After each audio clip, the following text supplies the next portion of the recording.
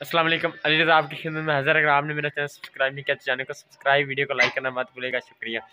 तो आज का ब्लॉग स्टार्ट करते हैं। तो उम्मीद है कि आप सब भाई खैरियत से होंगे।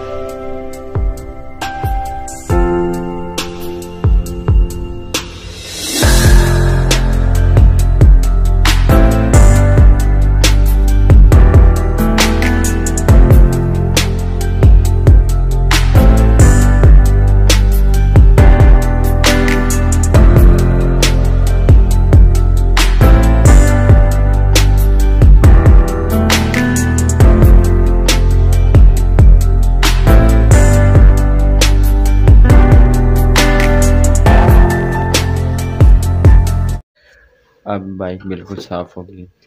पहले तीन चार दिन बारिश थी बहुत ज़्यादा तो इस वजह से इसको ना नहीं नहलाया। तो वैसे ही खड़ी थी तो वो ना मैंने सोचा कि ये ना हो, इसको जंग वगैरह पड़ जाए तो इसको अब नहलवा लिया, बिल्कुल साफ़ हो गया, बेहतरीन। तो अभी मैं जा रहा हूँ कब्रस्तान। तो फूल लेकर आए थे शहर से। वो भी ले लिए। तो उस्मान ने साथ जाना है। तो वो कहते कि मैं वाशरूम कर लूँ तो फिर मैं चलता हूँ। हमारा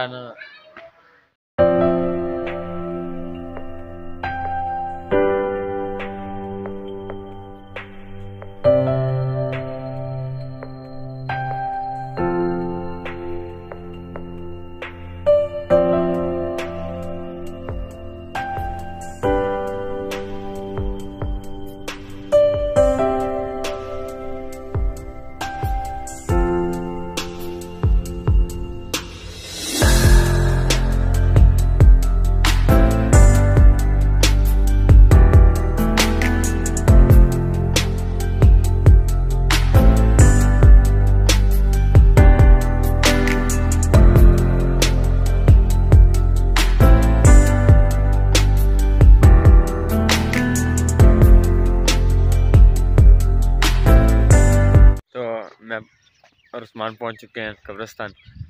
ये पुराना कब्रस्तान है, इस गाँव का। काफ़ी पुराना है इसमें। देखा जाए तो काफ़ी हद तक कब, जो कब्रें हैं वो बहुत ज़्यादा पुरानी हैं।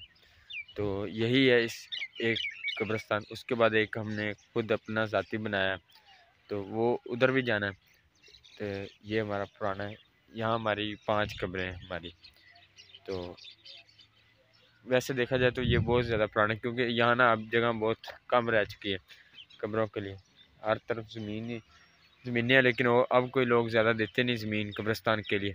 पहले दे देते थे, इसलिए हमने अपना खुद बना लिया।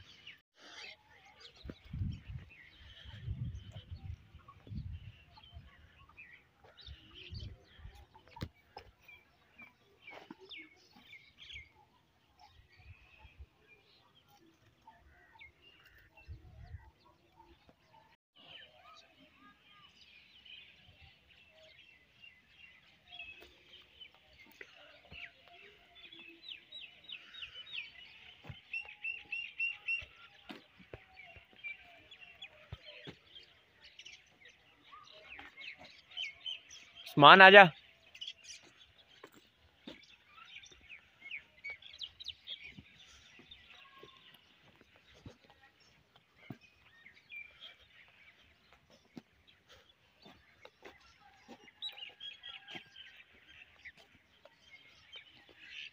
तो ये हमारा अपना कब्रस्तान, कादरी कब्रस्तान।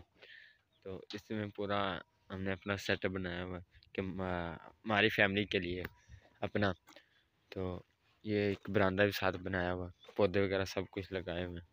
तो इधर हमारे तीन कमरे हैं तो पौधे वगैरह सब कुछ, पानी वगैरह के लिए हमने यहाँ बोर वगैरह भी करवाया हुआ है, साथ बिजली भी। तो ये एक बरामदा बनाया हुआ है, यहाँ कोई चीज़ रखनी हो तो ऊपर छत है, सारा बेचने सेटअप।